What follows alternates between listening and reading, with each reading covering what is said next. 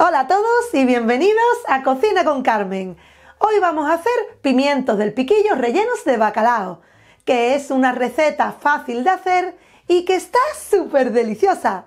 Es una opción sabrosa y saludable para disfrutar de una receta llena de sabor, rica en vitamina C, proteínas y omega 3. Se puede preparar para almorzar o cenar en el día a día o en ocasiones especiales, ya que es una receta bastante vistosa y elegante. Esta receta viene incluida en nuestro segundo libro, Cocina con Carmen, con 100 recetas fáciles para triunfar diario, que se puede encargar en cualquier librería de España o por internet. Así que si queréis hacer esta receta, os dejo los ingredientes tanto abajo en la descripción como al final del vídeo y vamos a comenzar. Empezaremos haciendo el relleno de bacalao para los pimientos. Así que en una sartén a fuego medio alto pondremos dos cucharadas de aceite de oliva virgen extra. Una vez que esté caliente, añadiremos un diente de ajo picado, una cebolla pequeña y los iremos moviendo de vez en cuando hasta que se hayan sofrito un poco.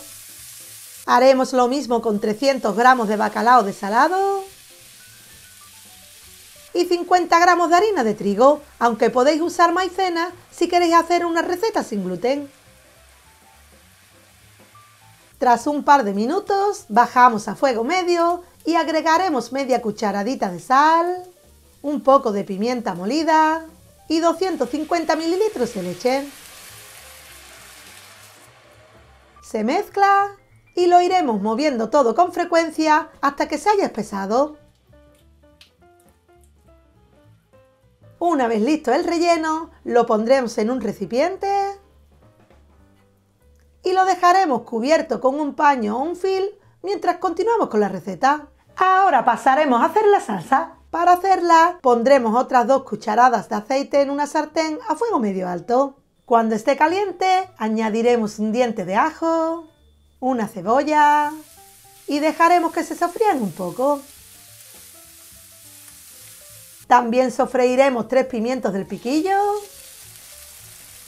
y 90 gramos de tomate triturado con un poco de sal. Por último, agregaremos 200 mililitros de caldo de pescado o agua y lo mezclaremos. Retiramos la sartén del fuego y trituraremos el sofrito con ayuda de una batidora de aspas o en un vaso batidor.